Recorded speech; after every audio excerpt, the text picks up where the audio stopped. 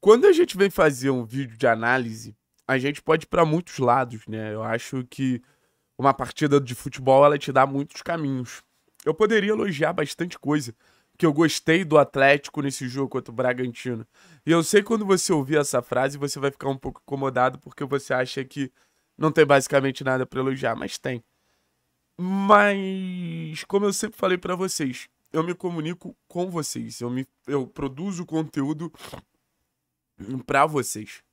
Então não adianta também eu chegar depois de mais um empate que o torcedor ele sai frustrado, apesar de achar que empatar com esse Bragantino é um resultado super normal em relação ao que o campeonato apresenta, mas não adianta eu chegar aqui e elogiar um posicionamento X, uma atuação Y.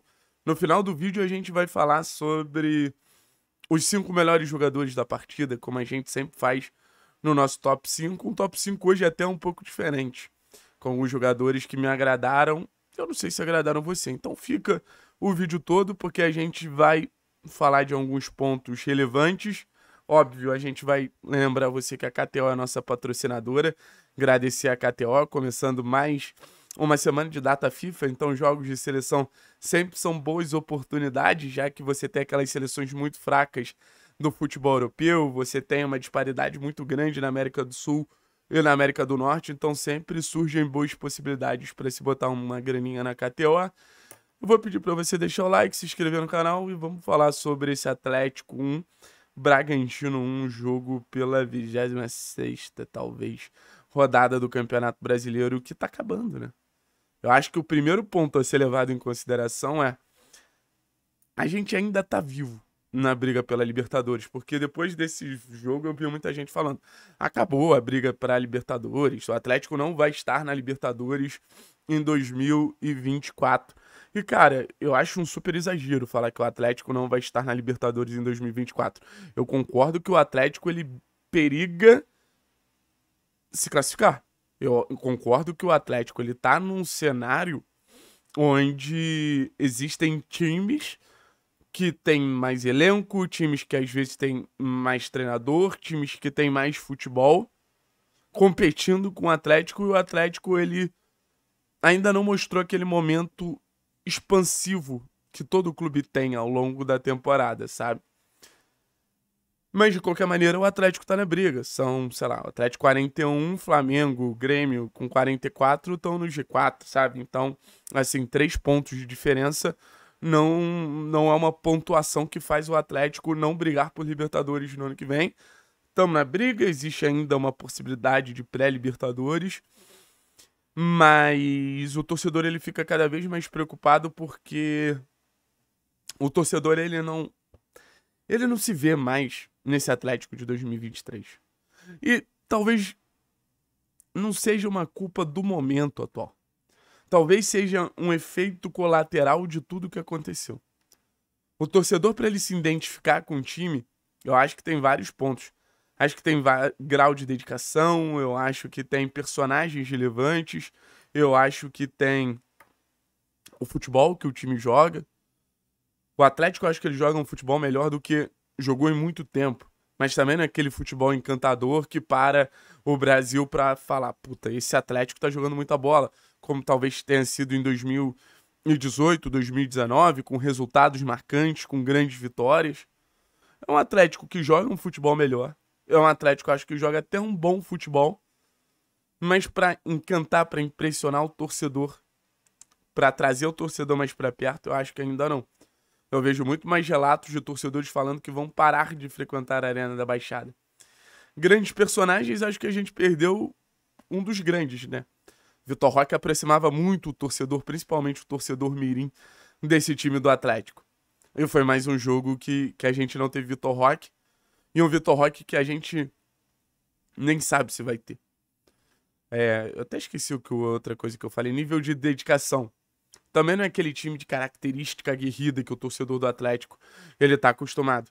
Eu acho que isso vem muito da característica do jogador, não propriamente dito se os caras são ou não dedicados. Eu acho que dedicado todo mundo é. No final das contas, eu acho que dedicado todo mundo é. Então, assim, tá difícil achar algum ponto de conexão entre a torcida do Atlético e o Atlético. O que que sobra? Os resultados. Então, assim, pro, pro torcedor do Atlético hoje ele ter o mínimo de empolgação com o Atlético é só numa visão resultadista. E eu acho que isso não é tão legal. Concordo que isso não seja tão legal. Mas eu acho que isso é reflexo de tudo que o torcedor ele viveu em um ano de muitas quebras de expectativa. Então, pedir pro torcedor ter carinho com esse grupo, não sei. Por exemplo, eu vejo um Fernandinho, a gente voltou a ter um Fernandinho no momento jogando um bom futebol. Gostei tanto do jogo do Fernandinho quanto do jogo do Eric, assim. Eu acho que foi um ponto importante para elevar o nível de competitividade da equipe. O Atlético depende muito dessa dupla de volantes bem. Às vezes, uns alguns estiveram bem, outros estiveram bem. Mas no final das contas, eu lamento do torcedor do Atlético estar tá aproveitando pouco o Fernandinho. Eu lamento do torcedor do Atlético nessa segunda passagem do Fernandinho não tá, sei lá, fazendo uma arena da Baixada de 20, 30 mil pessoas por jogo. Porque o torcedor, ao mesmo tempo que eu acho que ele deveria valorizar mais, ele quer mais. E Contra o Bragantino, eu acho que a gente até teve um bom recorte do que agradaria o torcedor, que foram os 25 minutos iniciais do segundo tempo. O Atlético amassou o Bragantino. Ah, mas foi qualquer coisa. O Atlético amassou o Bragantino. Jogou bem pela direita, jogou bem pela esquerda, anulou os principais pontos de, de destaque do Bragantino. Vitinho passou quase nenhuma do Canóbio. O meio-campo do Bragantino criava pouco. A gente recuperava bolas rápido. O Coelho era mais agressivo pelo lado esquerdo. O Zapelli e o Bueno flutuavam por dentro. Só que foi um recorte de muita superioridade e outro recorte de equilíbrio. Eu não acho que teve um momento do jogo que o torcedor ele tenha visto o Bragantino dominar. Mas isso é irrelevante. Porque mesmo o Bragantino não dominando e o Atlético ele tendo um momento ótimo que poucos times conseguiram ter contra esse Bragantino de, de realmente empurrar o Bragantino para trás, ele importa muito pouco, porque no final das contas foi um a um. Em mais um gol bobo que o Atlético toma numa saída de bola, num, num lance que o Coelho ele poderia ter simplificado e acabou errando no lance do gol.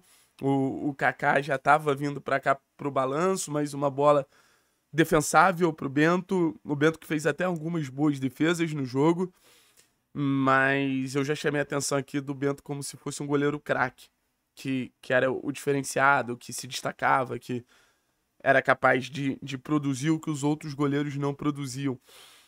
E eu tô começando a ver que é um Bento de bolas defensáveis. Então, assim, são quase que opostos. Qual é o verdadeiro Bento? E, e é foda questionar assim, porque é um cara que eu admiro muito é um cara que eu tenho um carinho muito grande, mas mais uma bola também que ele poderia ter, ter ido melhor. No final das contas, como eu falei, um a um, o torcedor ele sai mais uma vez com a sensação que poderia ganhar. Eu acho que é algo que norteia muito essa passagem do Wesley Carvalho pro Atlético. E eu acho que, querendo ou não, passa até ser um elogio porque o torcedor do Atlético ele lembra a quantidade de jogos onde ele poderia ter vencido, onde ele poderia ter se imposto, onde ele poderia ter um resultado muito maior e acabou não conseguindo. O que é um mérito do Wesley, mas ao mesmo tempo é um demérito fazer o time jogar melhor. Merece elogios, mas fazer com que esse futebol ele também não se transforme em vitória é um ponto considerável de crítica. Eu como eu falei, ainda acredito nessa reta final de temporada do Atlético, tem muita coisa para acontecer. Os próximos dois jogos, obviamente, são importantes, mas depois você tem uma sequência mais acessível. O que me preocupa um pouco que o Atlético ele costuma dar uma resposta quando o nível de competitividade ele sobe. Mas nada que o Wesley fizer, se for realmente o Wesley até, a, até o fim da temporada, acho que nada vai agradar a torcida.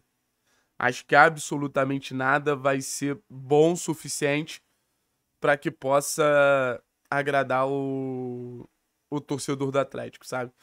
Então, no final das contas, 3, 1 ou 0. É a pontuação do jogo que importa. Tática, quem foi bem, quem foi mal. No final das contas, é muito pequeno para uma revolução que é esperada, para uma reformulação que é esperada. Então, assim, se o Kaique Rocha foi bem, foi mal, torcedor do Atlético ele sabe que no final do ano ele vai estar tá pedindo mais zagueiro. Então, sim, pro torcedor nesse momento é isso. Eu vou fazer um top 5 aqui só para fazer, porque eu sei que tem muita gente que gosta quando eu falo do jogo em si. E eu acho interessante fazer esse top 5 para falar de alguns jogadores específicos. São quinto, quarto, terceiro, segundo. Tá bom, vamos lá. Em quinto, muito pelo segundo tempo, que eu acho que ele cresceu e deu uma resposta positiva, eu vou botar o Vitor Bueno. Acho que, que teve bons momentos ali, principalmente no segundo tempo, flutuando, tentando construir, finalizando. É um jogador que incomoda, né? É um jogador de muita qualidade, é um jogador que leva alguns perigos para a defesa adversária. Aí você tem em quarto, pelo gol, eu vou botar o Pablo. Gostei do jogo do Pablo. Acho que, que, que se dedicou, acho que se, se, se comprometeu muito em ajudar a equipe ali criou algumas boas situações saindo de camisa 9 e virando um camisa 10. Tem uma bola que ele recua pro Eric invadir, que é belíssima, assim. Então, bota o Pablo em quarto lugar. Poderia ser melhor. Mas eu quero dar moral para outros jogadores. Em terceiro, Kaique Rocha. Gostei legal do jogo do Kaique Rocha, cara. Gostei legal do jogo do Kaique Rocha. para mim, o melhor jogo do Kaique Rocha e, e, e, mostrando potencial, mostrando domínio contra um ataque rápido. O Sacha não fez nada contra ele. O Thiago Borbas também criou pouquíssimo contra ele. Então, acho que merece estar nessa lista. E os dois primeiros? E os dois primeiros, vocês sabem quem são? Segundo, não. Segundo é Bruno Zapelli. Pela assistência, pela dinâmica. Acho que foi o melhor jogo do Zapelli com a camisa do Atlético toda hora tocando na bola, criando chances, botando o, o Bragantino para correr para trás, é, criando alternativas, atacando pela direita, atacando pela esquerda, dando aquela bela assistência. Gostei muito do jogo do Zapelli. E para simbolizar a dupla, mas como só pode um, o Eric, mano. Gostei muito do jogo do Eric. Voltou-se aquele Eric Leão. Se fosse Eric Leão contra Botafogo, contra Grêmio, dois jogos importantíssimos fora de casa, o Atlético ganha e ganha pra caralho, tá?